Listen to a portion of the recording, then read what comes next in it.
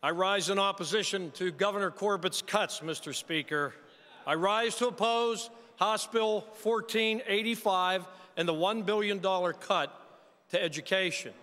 Now, I've heard the others on the, that side of the aisle say that we had to do this because the stimulus money went away, $650 million of stimulus money. But the governor proposed a cut of 1.682 billion. That doesn't equal 650 million. That went far beyond that. And even though the budget's been amended, and I appreciate the gentleman who has done that, the majority chair in the Senate, it still falls far short. Mr. Speaker, Governor Corbett's budget equals all children left behind. And the Republican Party is giving its seal of approval to these devastating cuts. The governor proclaimed in March, sir, that it was a day of reckoning. Well, I have another word for that. I believe it was a day of wrecking. I saw it as wrecking our educational system. I believed it then. I still believe it now. I think we're burning down the house of our educational system if we allow these devastating cuts to go through.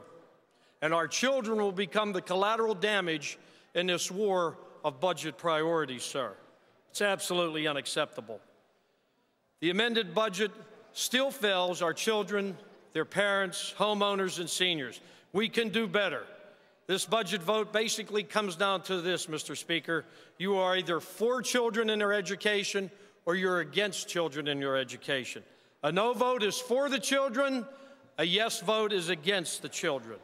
The governor talked about shared sacrifice. Well, Mr. Speaker, I see it as forced sacrifice on those who can afford it the least, while all along big business has been given a big break by this governor.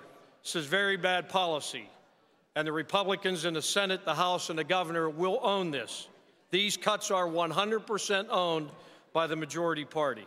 Mr. Speaker, how can we go through with these cuts while hoarding $700 million in surplus? Without passing a Marcellus shale tax, by allowing tax loopholes in this state, Delaware loophole, 600 million, the online retail sales, not halting temporarily the capital stock and franchise tax, not removing duplicative government programs like the PIC system. Mr. Speaker, no tax budget? Really? Taxes will be increased because of this budget.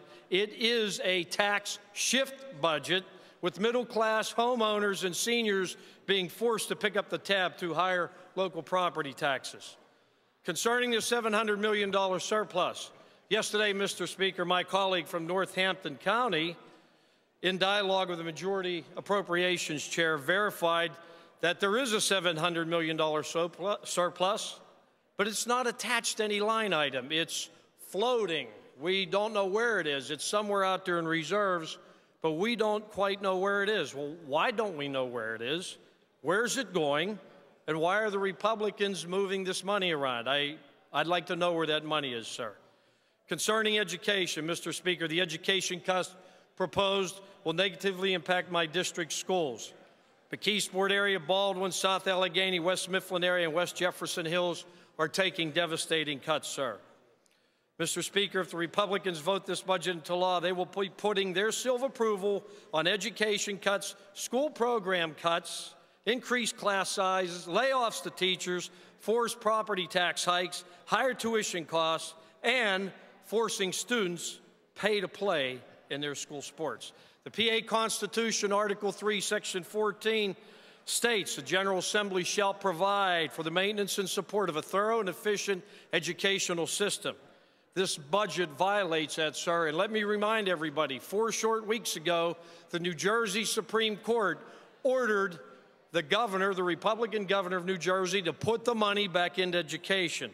I predict that will happen here. Over the last several years, sir, the Republicans have used the mantra close your eyes and authorize.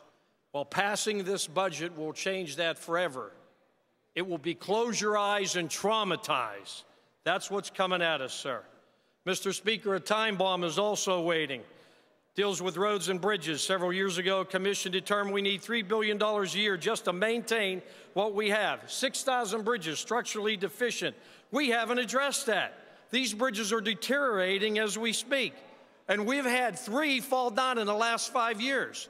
That's a time bomb waiting. It's a time bomb, and it's going to bite us.